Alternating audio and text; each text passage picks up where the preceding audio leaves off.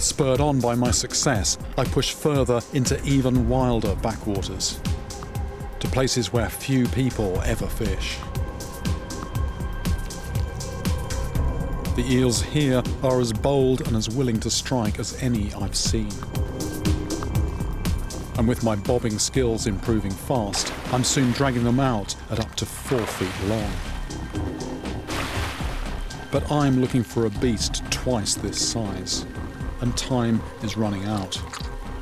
If the animal described by Captain Cook really was an eel, then seemingly the big ones are very rare, or even, perhaps, a thing of the past.